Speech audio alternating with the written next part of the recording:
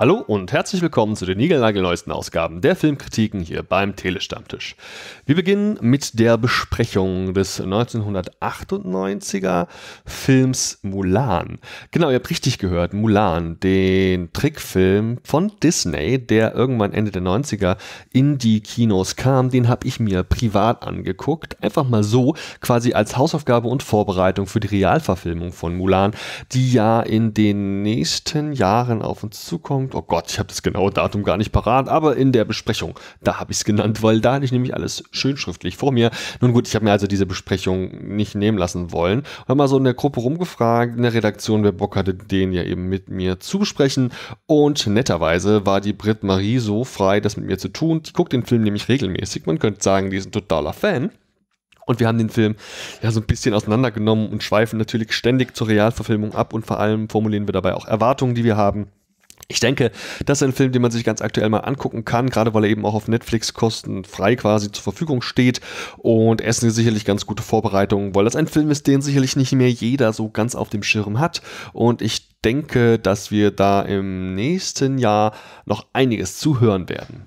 Im Anschluss gibt es dann noch ein Doppel zum Film The King of Comedy. Das ist ein Film, der ist bereits in den 80ern erschienen und wird häufig genannt, wenn wir quasi vorbereitende Filme nennen für den Joker-Film, der jetzt ja demnächst anläuft.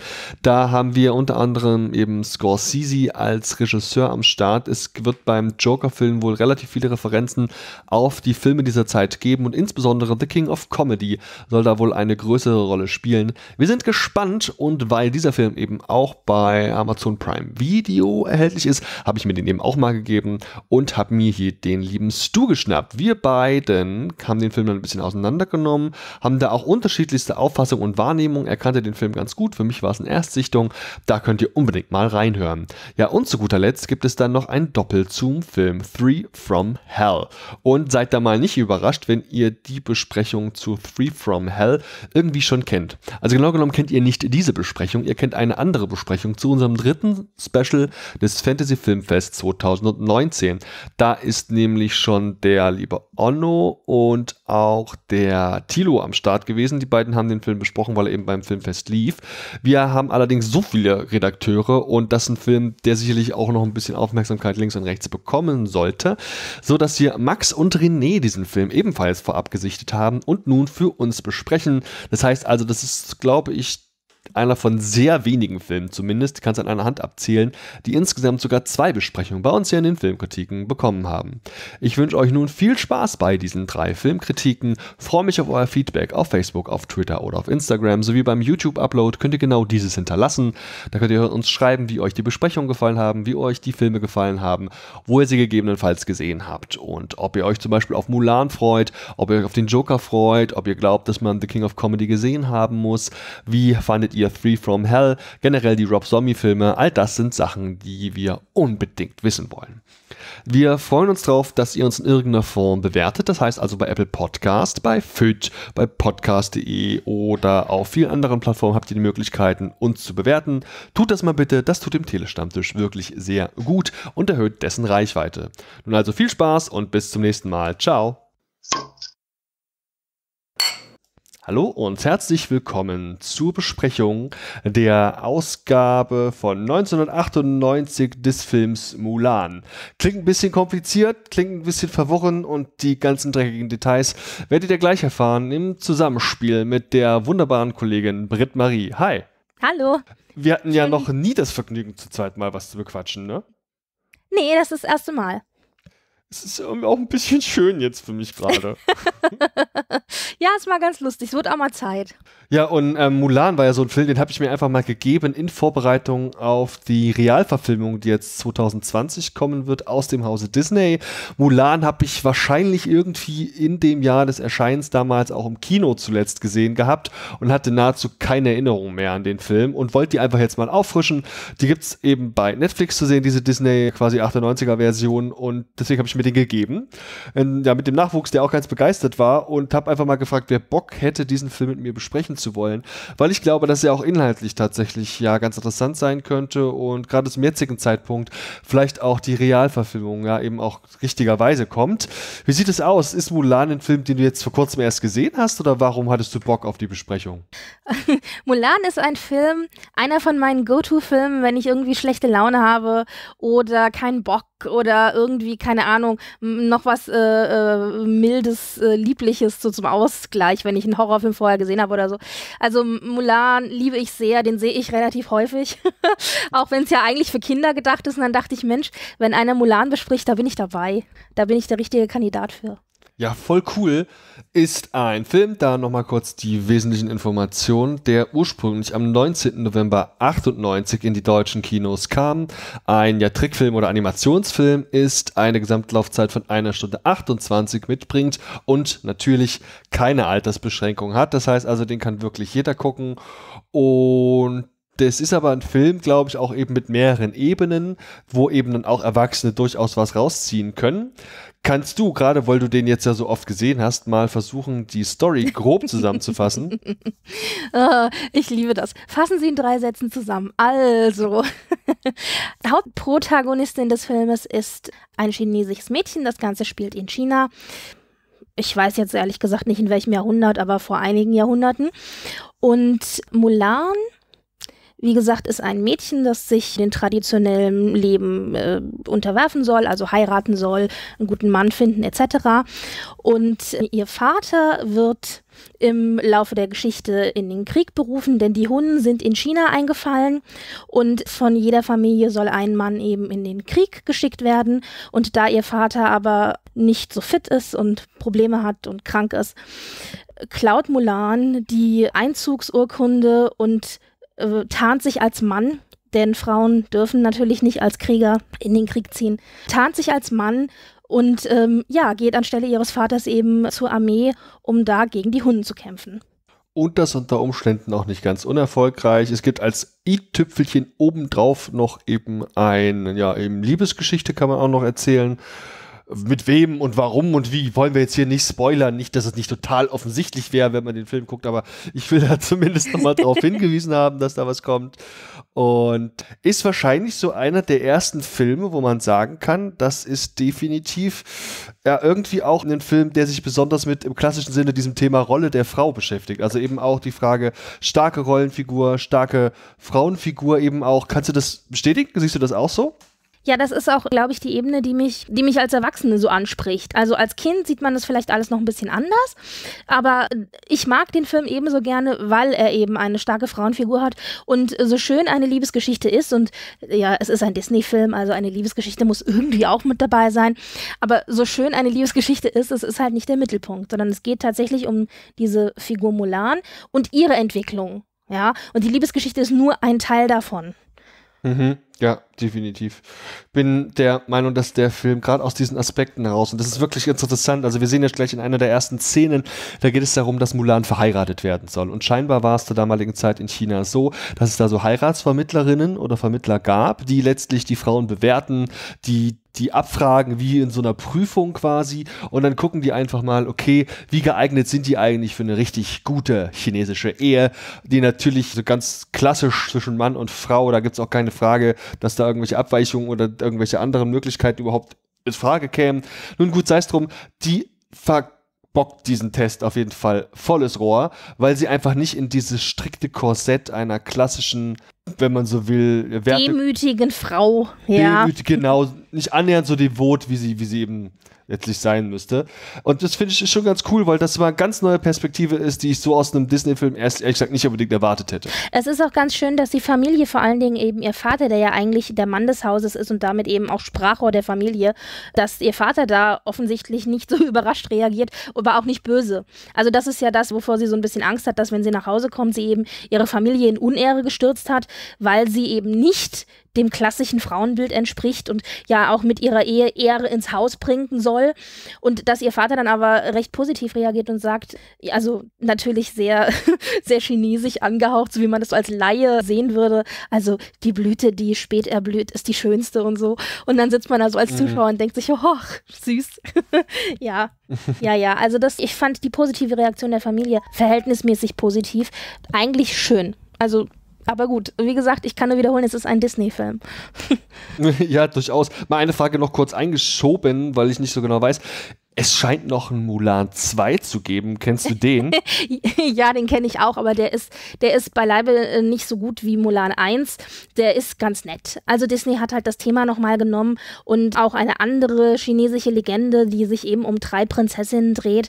Und Mulan ist so ein bisschen in diesem zweiten Teil, das ist mehr ein Abenteuerfilm und also so ein klassischer Abenteuerfilm und geht eben darum, dass Mulan so ein bisschen das Vorbild für diese drei jungen chinesischen Prinzessinnen dann wird ja, ist ganz nett, aber ist jetzt nicht so nicht so gut wie Teil 1. Mhm, alles klar. Du hattest übrigens auch gemeint, ja, bei unserer Vorbesprechung, dass das ja nicht die erste Verfilmung dieses Stoffs ist, dass es da schon irgendwas also, gab. Kann es sein? Ja, also die erste Verfilmung war tatsächlich die Disney-Verfilmung, aber der Stoff wurde dann 2009 nochmal verfilmt, auch als Realfilm.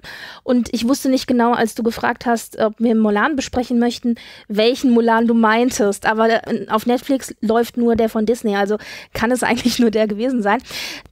2009 hat China einen richtigen so Monumentalfilm gemacht, so ein Epos mit ganz vielen äh, so Massenszenen, äh, großen Kriegsszenen, ganz viele Leute und so weiter. Also so einen ganz klassischen Monumentalfilm mit der Geschichte auch von Mulan. Aber äh, der Schwerpunkt ist natürlich ein bisschen ein anderer. Du hast halt so ein bisschen auch dieses Martial Arts Element drin, das du ja in so chinesischen Filmen auch ab und zu mal hast. Und der Schwerpunkt ist da ganz, ganz stark auf dieser Liebesgeschichte. Mhm.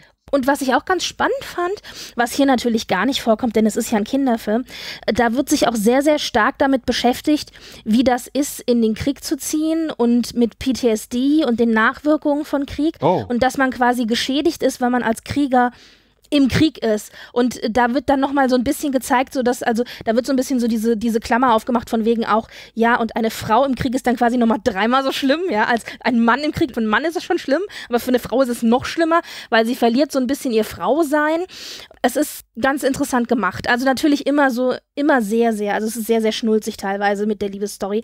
Und das ist ganz lustig, weil dieser Film eben sich so bewegt zwischen zwei, wie gesagt, Endpunkten. Also auf der einen Seite so eine ganz, ganz schnulzige Liebesgeschichte und auf der anderen Seite eben diese harten Kriegsszenen. Ja, aber also ich fand ihn, ich fand ihn gut. Mir hat er gut gefallen das ist ja ein Film, der eben nicht nur Mulan zum Zentrum hat, der eben verschiedene Charaktere und es gibt so Gerüchte, dass man hier bei der neuen Realverfilmung auf eine, wie ich finde, doch sehr wichtige Figur vollkommen verzichten will, nämlich ja. auf Mushu. Ja, wobei, hast du das Gerücht gehört mit dem Phönix? Nee. Also, das wohl tatsächlich, also sagen wir so, Mushu tauchte in, im Trailer nicht auf. Ja, und Disney hat von vornherein gesagt bei den Realverfilmungen, dass sie wahrscheinlich so diese Sidekicks, diese klassischen Mushu und Krikri und Khan und so weiter, die ja in dem Disney-Film waren, also das Pferd, die Grille und der kleine Drache, dass die wahrscheinlich nicht in der Realverfilmung mit dabei sein werden. Aber es ging jetzt das Gerücht, dass wohl Mushu in Form eines Phönix auftauchen würde. Und man hat Bilder gesehen auf Twitter, die gepostet worden sind von den Mitarbeitern vom Set. Die haben ja oft so Setkleidung, T-Shirts und Jacken und so weiter, die die tragen. Und da ist wohl ein großer, also als Emblem oder Symbol für diesen Film ist ein Phönix aufgestickt und unten drunter steht halt Mulan. Und da hat jetzt eben die Gerüchteküche gesagt, ja, vielleicht taucht ja Mushu in Form eines Phönix auf und nicht eines Drachen. Mhm. Aber das ist, wie gesagt, alles Spekulation. Es ist natürlich eine Figur, die jetzt hier aufgrund ihrer Synchro, denke ich, einfach bei mir ein bisschen aufgefallen ist. Die wird im Deutschen synchronisiert einfach von Otto Walkes.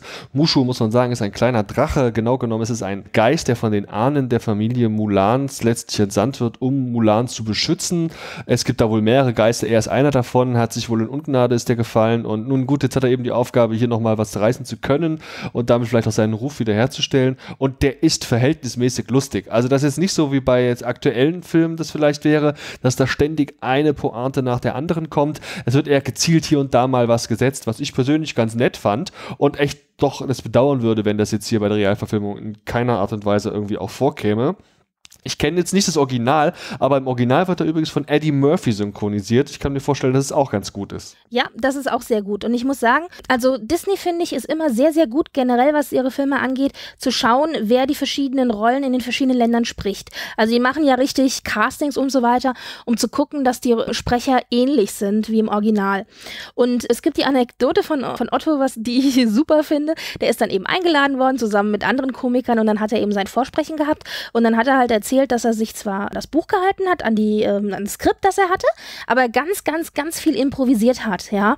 Und ähm, die Leute haben sich weggeschmissen vor Lachen und fanden das super und haben gesagt, gut, das nehmen wir, das schicken wir an Disney, die sollen es dann beurteilen. Und dann kam dann von Disney wohl zurück, ja, grundsätzlich fänden sie Otto ja eine gute Wahl, aber er soll doch bitte sich ein bisschen zurücknehmen, sonst würde ja Mushu quasi Mulan so ein bisschen, ja, wie sagt man, den Thunder stehlen, ja. Ablaufen, ja. genau. Das fand ich super, weil der muss da in, also als er dann, wie gesagt, die Probeaufnahmen hatte, musste er noch sehr viel mehr improvisiert haben. Und sowas finde ich immer schön. Ich finde, das ist dann immer ein gutes Zeichen für so eine Rolle, wenn dann die Leute schon so sagen, nimm dich mal ein bisschen zurück. Man kennt sie vielleicht noch von, ja, doch letztlich früher, denn Mulan wurde im Deutschen gesprochen von Cosma Shiva Hagen, der Tochter von Nina Hagen. Die kenne ich jetzt aktuell gar nicht mehr. Ich weiß nicht, ob es aktuell noch irgendwas von der gibt, ob die noch aktiv schauspielt, keine Ahnung. Aber zum damaligen Zeitpunkt war sie vermutlich ja einfach nicht auf Level Otto Walkes. Nein, das auf jeden Fall nicht. Wobei, die hat schon relativ viel geschauspielert, das stimmt schon. Ich habe sie auch schon lange nicht mehr gesehen. Jetzt, wo du es sagst, müsste man mal googeln, ob die noch aktuell viel macht. Müsste. Keine Ahnung. Mulan selber, also der Animationsfilm, über den wir heute ja sprechen, das ist ja so ein Film, der halt einfach mal aufgrund seines Settings mal was ganz anderes ist. Häufig sind diese Disney-Filme aus meiner Perspektive ja einfach in irgendwo in den Staaten oder meinetwegen noch in Europa angesiedelt, aber so großartige Ausnahmen davon fallen mir jetzt auf die Schnelle gar keine ein. Und insofern war für mich Mulan auch einfach mal vom Setting her für so einen Disney-Film mal was ganz anderes. Der ist ja auch von der Atmosphäre, die er versprüht und von den Schauplätzen, bei dem alles spielt, spielt, halt schon irgendwie auch, denke ich, sehr chinesisch. Gerade so natürlich, wenn es um irgendwelche Schreine geht, wenn es darum geht, dass sie hier in den Dörfern äh, umherwandeln, die Klamotten, die sie tragen, insbesondere natürlich auch die Rüstungen und so. Das ist einfach alles mal ein bisschen was anderes und hat mir insofern da auch mal ja, einfach gut gefallen. Hier sehe ich gerade auf Wikipedia, dass man wohl in dem Zeichenstil, den man gewählt hat, versucht hat, sich an der chinesischen Malerei anzulehnen. Das kann ich jetzt persönlich jetzt, keine Ahnung, also natürlich sieht alles ein bisschen chinesisch aus, aber ob das jetzt irgendwie die besondere Malerei, keine Ahnung, weiß ich nicht. Ja, ich kann das auch nur zur Kenntnis nehmen. Also ich habe zwar schon chinesische Malerei gesehen, also traditionelle Malerei, aber ja, dafür bin ich auch kein Experte. Aber was mir schon aufgefallen ist auch, dass das Ganze, also das, das ist ja auch das, was ich auf Wikipedia übrigens auch gelesen habe, dass sie auch viel mit Wasserfarbe und so gearbeitet haben und ich finde, das sieht man schon. Also da gibt es ja Sequenzen in Mulan, wo tatsächlich sich äh, der Zeichenstil so ein bisschen, äh, also wie sagt man, ein bisschen anders ist, als man das sonst gewohnt ist. Übrigens, apropos Orte, wo das spielt. Also ich meine, ein Beispiel für einen komplett anderen Ort, wobei das waren halt alles Tiere, ist natürlich König der Löwen. Ich meine, es ist Afrika. Ja. ja. Mhm. Also als Beispiel. Oder hier auch die Eisprinzessin, man, da ist es zwar nur so ein Fantasieland, aber das ist dann halt, okay, wahrscheinlich Nordeuropa, also wieder Europa. Aber äh, ja, es ist natürlich klar, asiatischer Kontinent ist nochmal was anderes. Ja.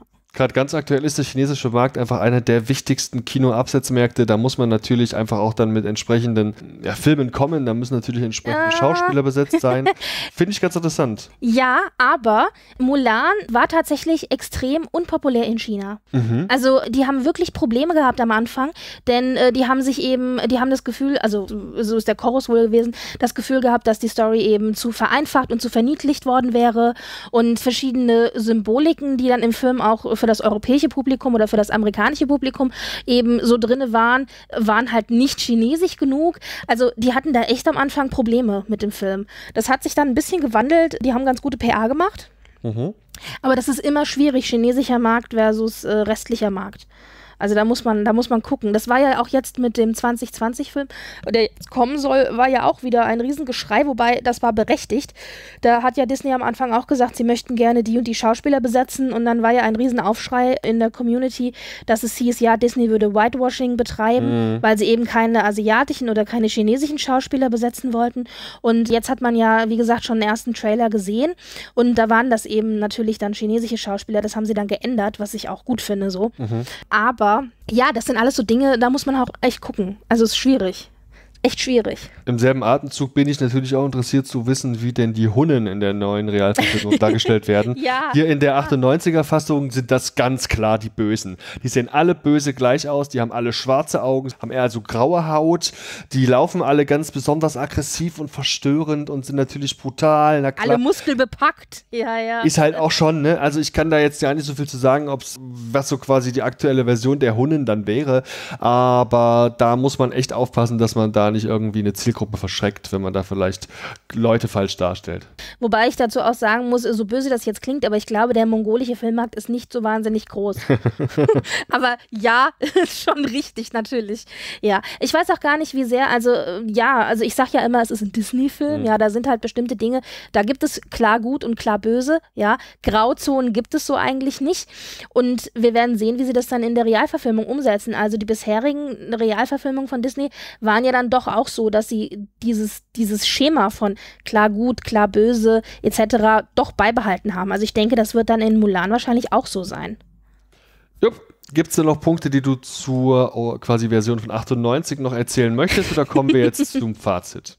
Ja, nein, also das Wichtigste ist tatsächlich für mich eben diese starke Frauenfigur, die mich einfach begeistert, auch heute noch.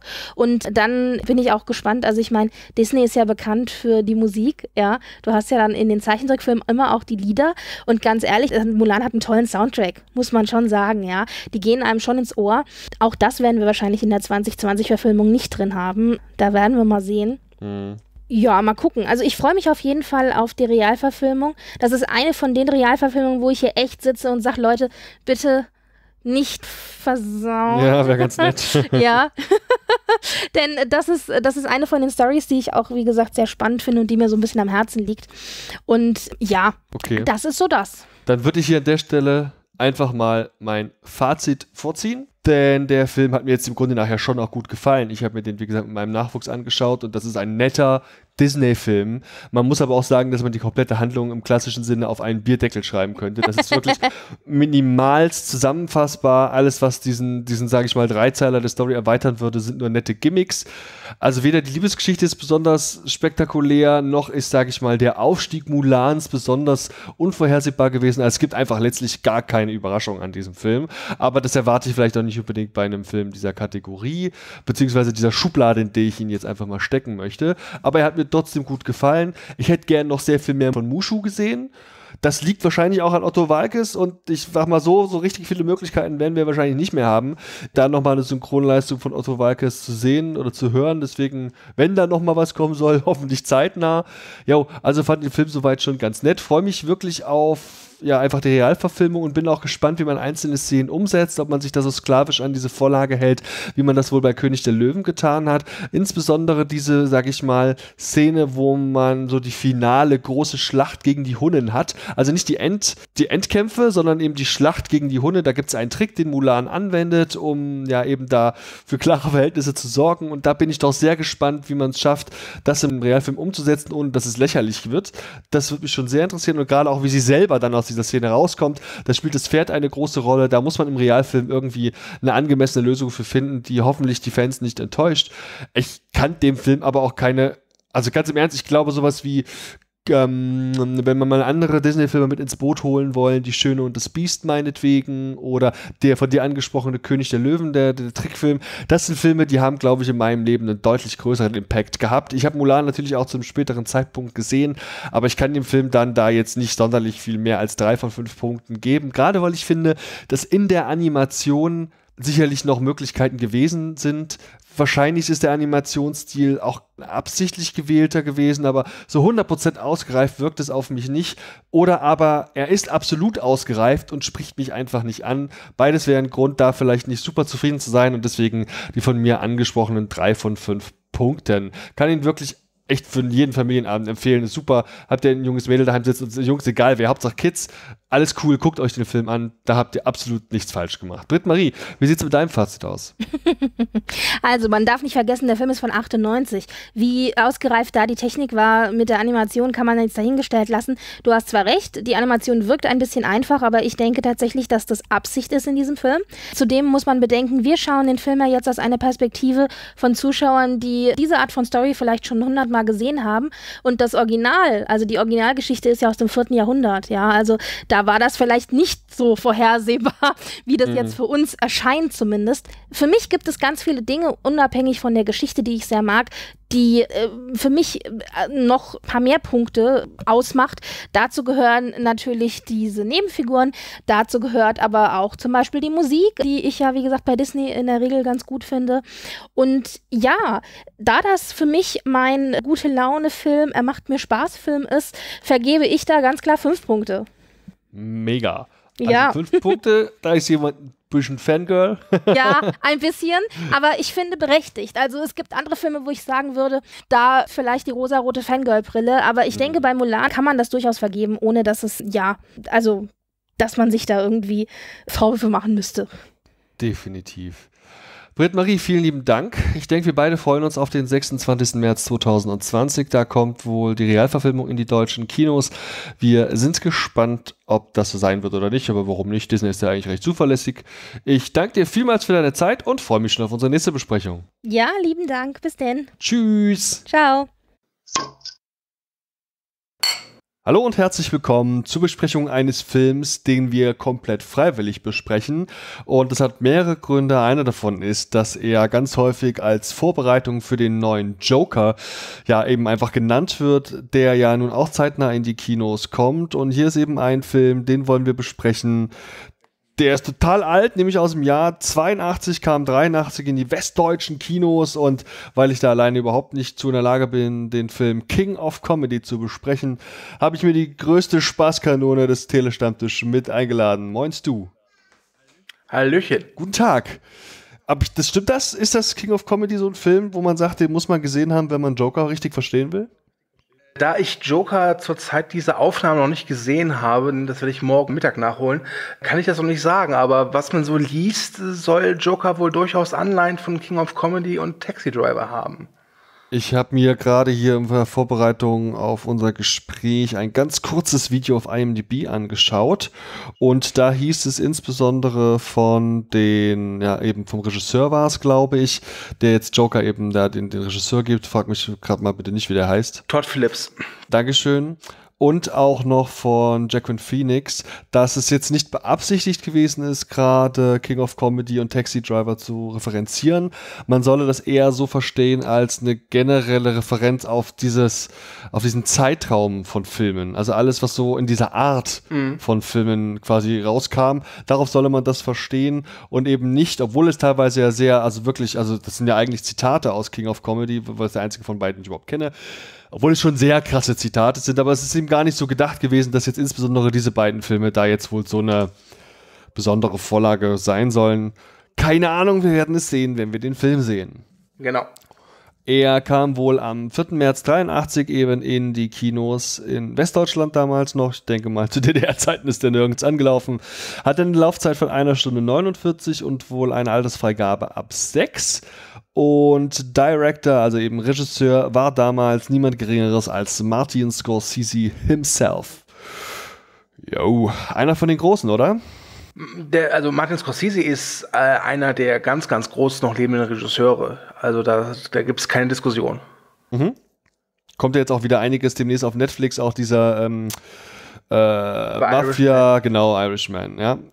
ja. Auf den ja irgendwie alle warten wo ich auch sehr gespannt bin, was man daraus gemacht hat und gerade wie das auch mit dieser Verjüngungskur wirkt, die sie dann wohl alle bekommen haben. Die Schauspieler wird spannend. Ich kann allen Scorsese-Fans den Tipp geben, der gute Mann hat 1970 eine Dokumentation gemacht über die Vietnam-Proteste. Der Film heißt Street Scenes und der galt als verschollen. Der ist jetzt wieder aufgetaucht, den kann man sich absolut legal und gratis auf YouTube angucken. Also hier eine kleine Empfehlung. Ach cool. Ja, googelt das auf jeden Fall mal. Den King of Comedy hatte ich jetzt auch übrigens bei Prime Video gesehen. An der Stelle mal der Hinweis, dass man da aktuell nicht unbedingt was für zahlen muss, wenn man da Kunde ist. Jo, und ähm, Insofern also auch nochmal eine Möglichkeit für euch, da diesen Film kostenlos bis zumindest ziemlich günstig zu gucken. Willst du mal einen Versuch starten zu erzählen, wovon King of Comedy handelt? Ja, gerne. Äh, Im Fokus von King of Comedy steht eine Figur mit einem der besten Namen aller Zeiten, nämlich Rupert Pupkin, gespielt von Robert De Niro. Und der hat einen ganz großen Traum. Er möchte halt Star-Komiker werden. Also ein, ein Mann, der auf der Bühne steht, die Leute zum Lachen bringt und dafür Applaus erhält. Problem ist, dass Rupert Pupkin eigentlich, ja, nichts erreicht hat bislang.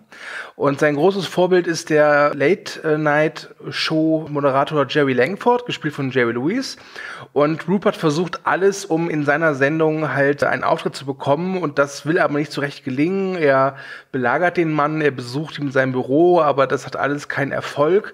Und dann fasst er einen sehr tollkühnen Plan. Und zwar trifft er sich mit der Stalkerin Mascha, also nicht seine Stalkerin, sondern ein sehr ja, wie soll ich sagen, enthusiastischer Fan von Jerry Langford und entführt den armen Mann und erpresst quasi seinen Auftritt in der Jerry Langford Show. Und das ist grob gesagt die Geschichte von King of Comedy.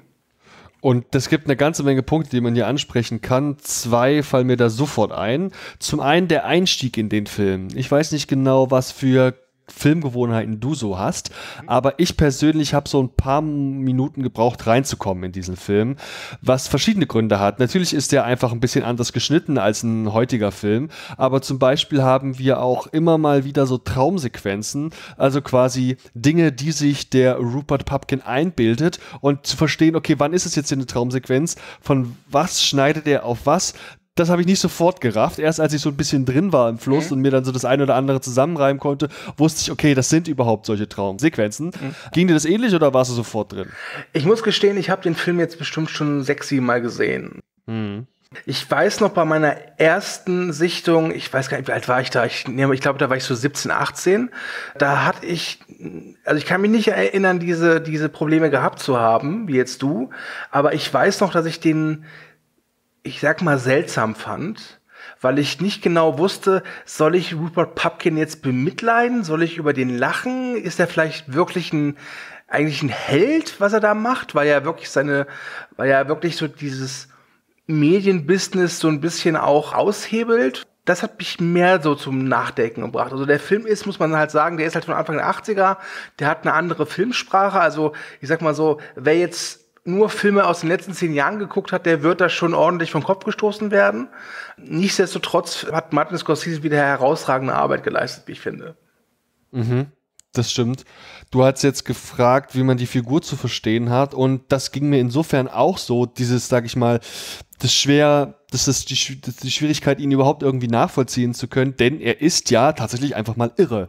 Der Typ ist, obwohl er letztlich ja eben einfach auch der Protagonist des Films ist und die meiste Zeit dreht sich der Film letztlich um ihn und die Kamera hält auf ihn drauf, aber der ist ja eigentlich total irre und eigentlich auch zu keinem Zeitpunkt des Films, zumindest hat es auf mich so gewirkt, der war niemals irgendwie sympathisch. Also es gab nie den Moment, wo ich mir dachte, auch der arme Junge und ähm, jetzt haben sie ihn alle nur falsch verstanden oder so, oder, oder er wäre getriebener seiner Umstände, was vielleicht sogar noch irgendwie sein könnte. Aber es war zu keinem Zeitpunkt so, dass ich mir dachte, ach, der ist aber äh, jetzt einfach nur auf die schiefe Bahn geraten oder hat eine falsche Entscheidung getroffen. Der Typ ist einfach komplett durch. Und der ist zu keinem Zeitpunkt jemand, den ich gerne in meiner Nähe hätte. Ja, also ich habe ihn immer als ähm, äußerst naiv wahrgenommen. Ja, also jemand, der, der, der glaubt, für, für einen Fernsehauftritt braucht man einfach nur ein paar gute Gags und das war's. Der sich gar nicht richtig damit auseinandersetzt, was man wirklich benötigt. Dass man eben nicht eigentlich so von 0 auf 100 in Sachen Star wird, sondern dass man das sich erarbeiten muss. Dass man eigentlich als erfolgreicher Komiker halt wirklich erstmal in den kleinen Clubs auftreten muss. Dass man erstmal ordentliche Niederlagen einstecken muss, um dann nach und nach Erfolge zu feiern. Und das ist Rupert Pupkin ja gar nicht, das ist, das, das versteht er gar nicht. Für den gibt es ja nur dieses eine Ziel. Er will in dieser Jerry Langford Show auftreten und für ihn ist es absolut ohne Zweifel, dass er da erfolgreich sein wird und dann sofort zum, zum Superstar wird. Und ich spoilere mal hier, sorry, aber es muss jetzt sein, aber er hat ja damit sogar Erfolg am Ende. Das ist ja das Krasse. Meinst du wirklich, das liegt an seiner Naivität als viel eher an seiner Penetranz? Der Typ ist ja einfach wirklich auch fast schon bösartig penetrant. Ja, also mit seiner Naivität das Rechte kommt eine ordentliche Dosis Penetranz, also eine wirklich unschöne Dosis Penetranz. Und ich weiß nicht mehr, wer es gesagt hat, aber ich habe mal vor ein paar Monaten ein Interview gesehen mit einem Autor, der halt so für Comedy schreibt. Und der meinte, man kann halt entweder mit Erfahrung und, und langem Atem es versuchen oder man kann immer so lange gegen die Tür rennen, bis sie eines Tages halt aufgeht. Oliver Pocher ist da ein gutes Beispiel, der hat das ja so geschafft. Mhm. Und wenn man sich anguckt, wie heutzutage in Anführungszeichen Stars gemacht werden, ja, gerade in dem Zeitalter von Instagram und YouTube und Influencern, ja. finde ich, ist King of Comedy gar nicht mal so gestrig mit seiner Aussage. Insofern gebe ich dir recht, weil du scheinbar irgendwie hervorstechen musst. Wenn du einfach nur ein guter Comedian bist, der gelegentlich mal in irgendeinem, keine Ahnung, Pub auftritt, dann hast du halt keine Perspektive, zumindest keine große. Du musst schon irgendwie auch den Fuß in die Tür kriegen, da stimme ich dir schon zu. Und diese Penetranz hilft dem Hauptdarsteller, dem Pumpkin, scheinbar irgendwie dabei. Ja, ich glaube, der, der Pumpkin ist auch gar nicht in der Lage, sich empathisch in die Leute einzuführen, die er da belästigt. Das, das, das kann der gar nicht. Also, der ist schon ich habe ein bisschen Probleme mit dem, mit dem Vokabular jetzt gestört, aber mir fällt gerade kein besseres ein. Aber er ist, er ist schon eine gestörte Persönlichkeit. Also da gebe ich dir absolut recht. Ist der denn vielleicht, also geistig behindert in irgendeiner Form, dass dem irgendwelche Sachen fehlen. Wir haben ja zum Beispiel auch Einblicke in sein privates Leben. Er wohnt scheinbar in irgendeiner Form bei seiner Mutter oder seine Mutter wohnt bei ihm. So genau wissen wir das nicht. Wir sehen sie nicht, wir hören sie bloß.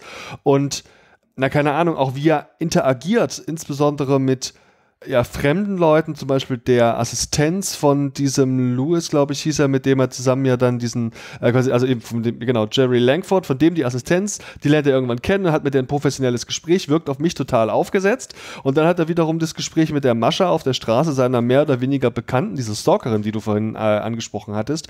Und da scheint er mal komplett seine Maskerade fallen lassen zu können, wo er sie dann mal so richtig, also zumindest rhetorisch, windelweich artikuliert, ja, also der, der der Typ, der, ähm, das wirkt so aufgesetzt. Und ich glaube, wie gesagt, dass der in einem gewissen Rahmen auch, der hat irgendeine Empathiestörung. Da, äh, Empathie hattest du, glaube ich, gesagt, Empathie. Irgendeine ja, Dysfunktion. Ja, also ich finde es aber auch ganz schön, dass der Film nicht genau darauf eingeht. Also wir erfahren jetzt nichts von, von seiner Vergangenheit. Du hast ja schon erwähnt, er wohnt bei seiner Mutter oder die Mutter bei ihm. Und das ist ja auch ganz interessant wir hören die Mutter ab und zu. Ne? Mhm. Es ist so ein bisschen, das ist ja so dieser alte Running Gag aus Sitcoms, sei es jetzt Big Bang Theory oder eine schreckliche Familie, dass man die Mutter nie wirklich sieht, sondern immer nur so hört, wie sie schreit. Und das ist ja auch bei King of Comedy der Fall. Das fand ich auch ein ganz netter Kniff, muss ich sagen. Ja. Okay. Jo, also ich glaube zumindest eine sehr ambivalente Person, das kann man so sagen, die man auch nicht so einfach durchschauen kann, die ich zumindest nicht so einfach durchschauen kann. Und es war für mich mal was Neues, eine Person zu sehen, deren Motive man zumindest oberflächlich im Ansatz vielleicht sogar irgendwo nachvollziehen kann. Ich will nicht unbedingt von Sympathien sprechen in dem Fall, weil die hatte ich wirklich nicht unbedingt, aber ich konnte ihn zumindest nachvollziehen und eben dann auch damit ein kompletter Film aufgezogen wird. Denn so klassischerweise sind es ja dann doch eigentlich immer eher die ja ganz klaren Stereotypen, die für eben so Protagonisten herhalten müssen. Das war insofern für mich mal was ganz anderes und das ist wirklich positiv erwähnenswert. Was mich nochmal interessieren würde, das gibt ja dann dieses große Finale, ich will jetzt auch nicht zu viel vorwegnehmen, aber irgendwann hält er da eben dann seine Nummer, die hat er eben vorbereitet, die hält er dann eben vor laufender Kamera. Wie lustig findest du das oder findest du das so wie ich vielleicht sogar eher ein bisschen ergreifend letztlich? Also lustig finde ich es eher nicht, aber ich glaube, das soll es auch gar nicht so richtig sein. Und man darf halt nicht vergessen, aus welchem Jahrzehnt der Film kommt. Ich glaube, ganz viel, was Anfang der 80er Stand-up technisch lustig war, da können wir uns heutzutage nur drüber wundern.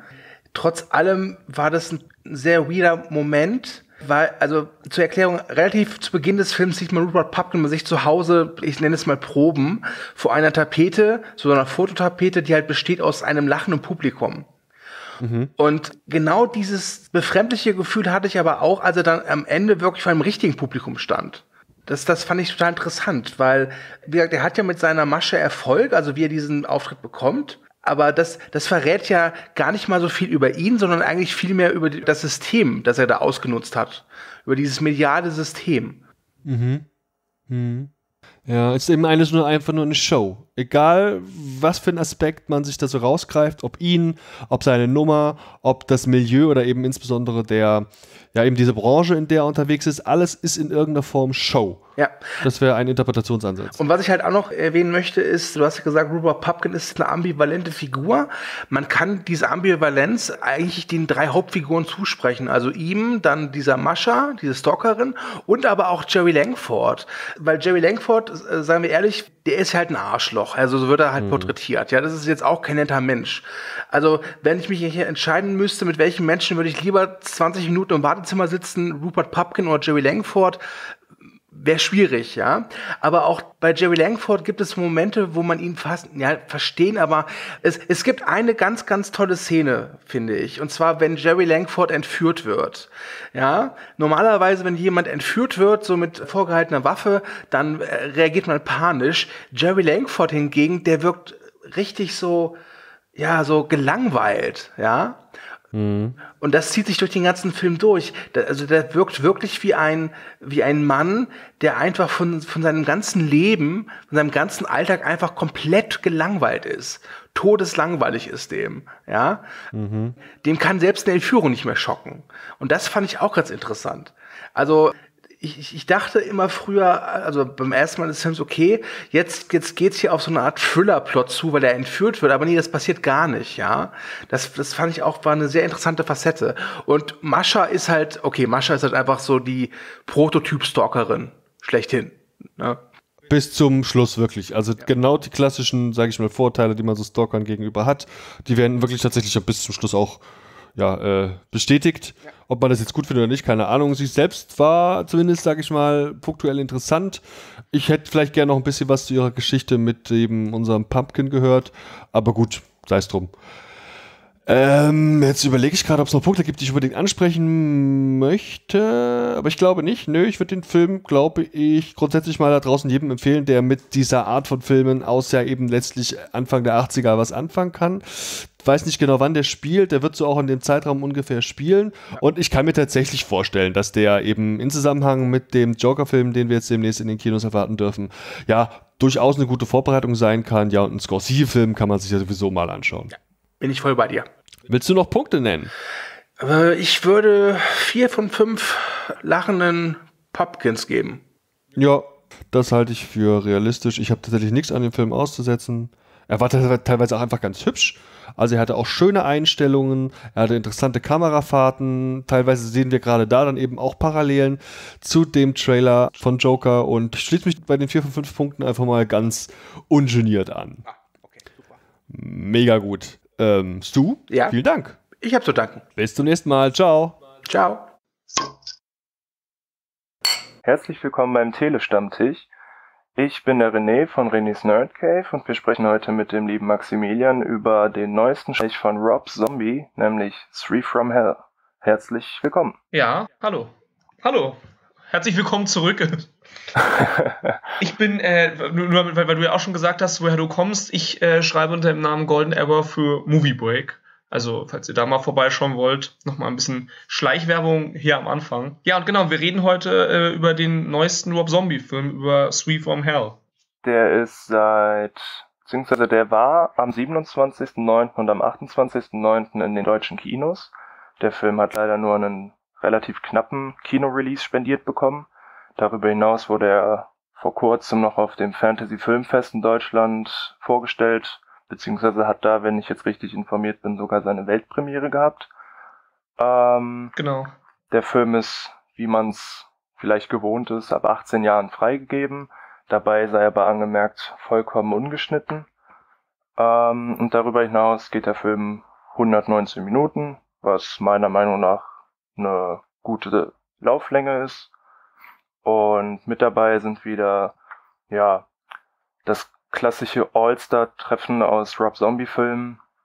In den Hauptrollen haben wir Bill Mosley, Sherry Moon Zombie, Sid Haig in seiner letzten Rolle, Rest in Peace dabei. Ähm, und neu zum Hauptcast gestoßen ist Richard Brake. Rob Zombie-Fans kennen ihn bereits aus seinem Vorgänger, aus 31. Ähm, Genau, und darüber hinaus haben wir dann so die Klassiker Jeff Daniel Phillips, ähm, Richard Ury, ähm, Pancho Mola ist wieder dabei. Ansonsten Danny Trejo. Ja, wo spielt er nicht mit? Was mich jetzt mal vorab interessieren würde, das ist ja der dritte Teil einer Trilogie, ich denke mal der Abschluss einer Trilogie. Ähm, und die beiden Vorgänger sind ja das Haus der tausend Leichen und The Devil's Reject. Und gerade ähm, Haus der tausend Leichen hat ja absoluten Kultstatus. Vielleicht sollten wir da mal so ein bisschen ähm, ähm, anfangen, damit die Zuhörer ungefähr einschätzen können, von woher wir kommen, wie wir, wie wir die beiden Filme finden. Also würde mich mal interessieren, was hältst du denn von Haus der Tausend Leichen und The Devil's Reject? Die beiden Filme gehören tatsächlich zu, mit zu meinen absoluten Lieblingshorrorfilmen. Ähm, ich mhm. bin, Verständlich. ich bin allgemein riesiger Rob Zombie Fan. Ich hatte tatsächlich auch schon die Gelegenheit, ihn und seine Frau nach einem Konzert zu treffen. Und ähm, ja, also die beiden Filme, die kann ich mir eigentlich immer wieder reinziehen. Dementsprechend groß war jetzt natürlich meine Vorfreude auf den dritten Teil. Und ja, ja ich fand ihn auf jeden Fall gut. Na, ich weiß nicht, wie du das siehst. Ja, ja, ich finde die, äh, gerade den ersten finde ich wirklich großartig, aber das Interessante an diesen beiden Filmen, und das finde ich jetzt auch zum dritten hin sehr interessant, ist ja, dass sie einen ganz unterschiedlichen Ton haben. Also Haus der Tausend Leichen ist ja wirklich Terrorkino par excellence mit unheimlich vielen skurrilen und kreativen Einfällen. Und The Devil's Reject spielt ja ein Stück weit damit, dass die Täter-Opferrollen getauscht werden. Also dass dieses Trio aus dem ersten Teil praktisch auch in die Opferrolle ähm, hinübergeht. Und da setzt, könnte man sagen, Free from Hell an. Der fühlt sich auch deutlich stärker in die Richtung von The Devil's Reject an. Also geht nicht wieder zurück zum ersten Teil. Und ähm, führt das praktisch weiter, diese Opferrolle. Denn ähm, in dem Film, das sollten wir vielleicht nochmal sagen, das hatten wir noch gar nicht erwähnt, worum es überhaupt geht, geht es ja darum, dass ähm, Otis, Baby und Captain Spaulding ähm, überraschenderweise die Vorfälle von The Devil's Reject doch überlebt haben, aber dann sozusagen im äh, Gefängnis landen. Ich würde da jetzt noch nicht sehr viel mehr sagen wollen, weil sonst spoilert man da, glaube ich, etwas. Aber ähm, das ist ja ganz interessant, dass der Film da sehr politisch beginnt. Also er beginnt ja im Grunde genommen damit, dass er zeigt, was für Ungerechtigkeiten auch im Gefängnis ähm, stattfinden und wie die praktisch gefoltert werden und wie sie sich dann praktisch dagegen wehren. Also das war ja in The Devil's Reject auch schon ein bisschen so, dass praktisch gezeigt wird, dass jetzt in dem Fall dann die Staatsgewalt oder derartiges nicht sehr viel besser ist. Also wir befinden uns bei Bob Zombie jetzt auch in diesem dritten Teil tatsächlich in einer Sphäre, wo es irgendwie gefühlt nur Gesetzlose gibt, wo jeder irgendwie böse böse ist und diese Rauheit kommt auch hier wieder wunderbar durch. Auch in der zweiten Hälfte wird das ja dann praktisch fortgeführt. Ähm, wer Rob Zombie kennt, dem ist sicherlich auch bewusst, in welche Richtung der Film geht. Also hier gibt's wieder die geballte Ladung von Trash, von ja Gewalt, ähm, ein Haufen Rednecks, so kann man es glaube ich ganz gut beschreiben, ja. auf ihrem Terrortrip ja. quer durchs Land. Ähm, aber genau das ist es am Ende auch, was ich vom Film erwartet habe.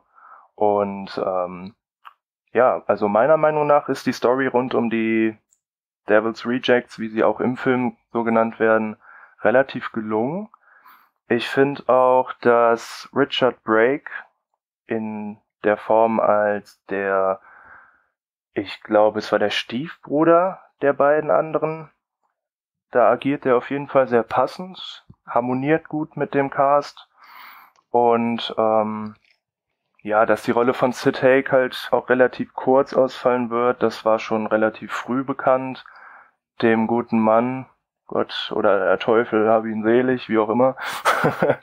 ähm, der war zum Zeitpunkt ja. der Dreharbeiten ja schon relativ krank. Aber ähm, was das angeht, finde ich, wurde auf jeden Fall sehr schön mit dem Charakter abgeschlossen. Und genau, wie sahst du das? Ja. Naja, also ich, ich, ich finde, dass das auf jeden Fall ein Herzensprojekt ist und das merkt man auch ganz stark. Also ich glaube, und das, und das stand ja auch schon in einigen Kritiken, dass es diesen Film jetzt nicht unbedingt gebraucht hätte. Das ist ein, ein Film, den hat Rob Zombie für sich und für die Fans gedreht und das merkt man durch und durch, weil ich finde, so wahnsinnig viel zu erzählen hat er auch nicht. Und das wäre jetzt so mein, mein, mein Hauptkritikpunkt an dem Film, wobei er mir trotzdem insgesamt gefallen hat, dass er sich ein wenig rangeklatscht anfühlt. weil ähm, eigentlich hätte man nach The Devil's Reject schon einen, einen Abschluss, aber er kramt dann die Charaktere praktisch nochmal vor, sagt, ja, okay, die sind doch nicht tot und versucht dann in diesem ersten Drittel irgendwie was Neues einzuführen, eben diese politische Komponente, die ich schon erwähnt habe. Da gibt es dann zum Beispiel auch einmal, wenn ich mich jetzt nicht ganz irre, in einem Büro so eine Nahaufnahme von einem Bild mhm. von Ronald Reagan, wo dann praktisch deutlich wird, in welche Richtung dieser Film strahlen soll, der ja dann auch ganz äh, zuständig für die Gefängnissituation in Amerika ist, wie sie heute ist. Ähm, aber ich finde, das verläuft dann irgendwie im Sande und in der zweiten Hälfte ist es dann eigentlich ein relativ liebevoller Fanservice, kann man sagen, finde ich. Weil dann kriegt man halt seine Charaktere geboten und das übliche Warp-Zombie-Material geboten. Und darum würde ich schon sagen, dass es einer der schwächeren Warp-Zombie-Filme ist, wobei ich ihn persönlich auch sehr mag und sehr ins Herz geschlossen habe, weil ich selber auch Warp-Zombie-Fan bin.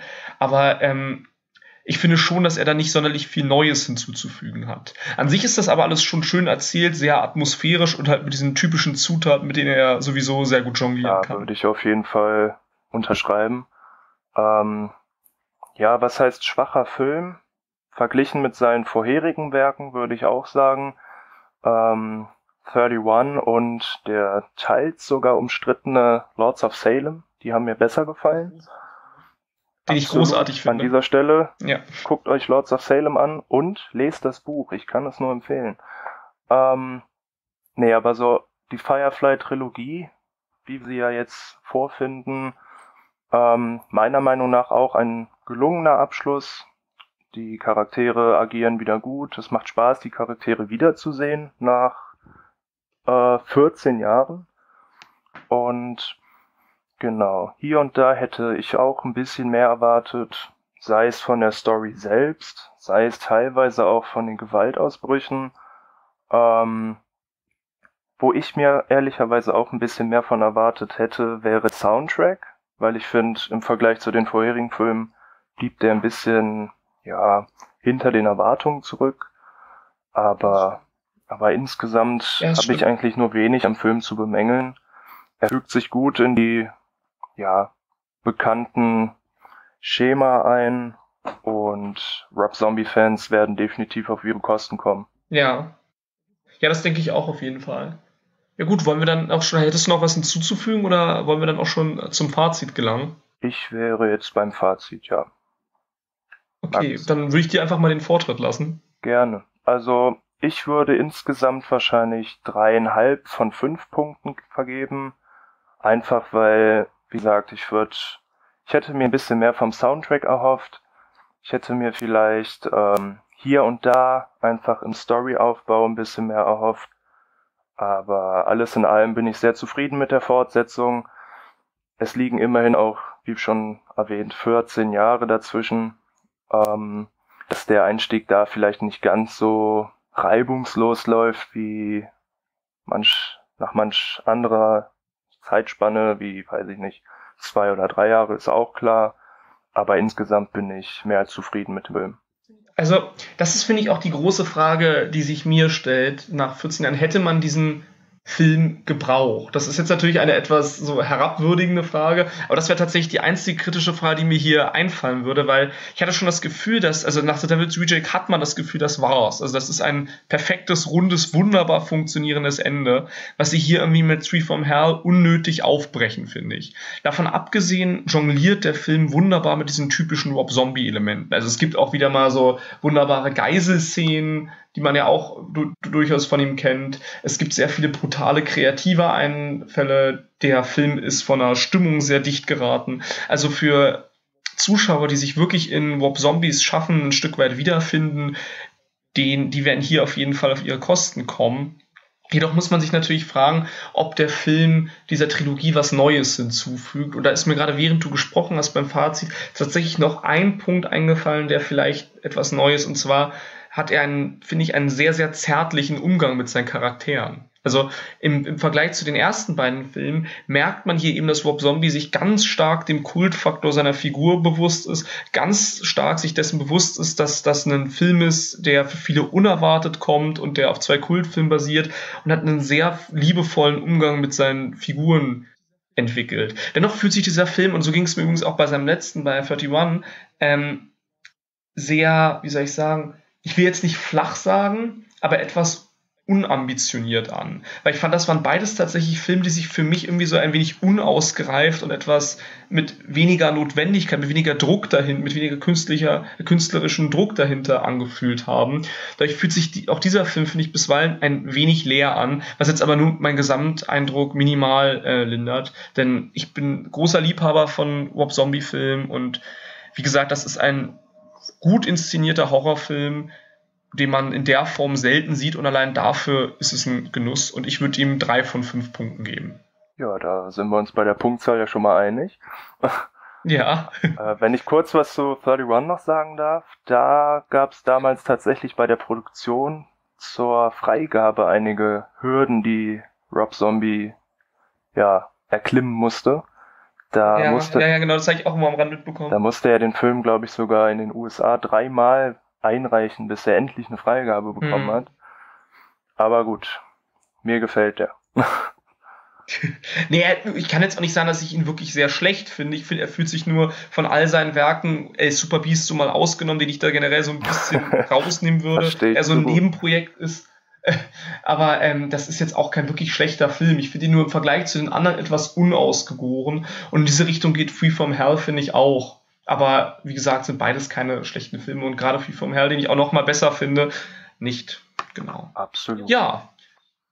Ich würde sagen, das war's dann von uns. René, es war mir eine Ehre, dich kennenzulernen und Absolut. mit äh, dir über diesen schönen Film zu sprechen. Ich hoffe, wir sprechen uns mal wieder. Würde mich freuen. Und mich auch. Und dann äh, macht's gut und noch viel Spaß mit den weiteren Besprechungen. Ciao.